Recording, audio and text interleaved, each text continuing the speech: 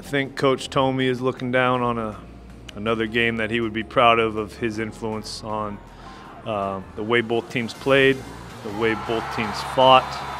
Um, it was a it was a great great night at Aloha Stadium, and you know, I, I just appreciate the fans that came out, and it was very entertaining, probably for the fans more than more than us, but um, they stuck together. Our, our team stuck together, um, and they knew there was going to be a, a.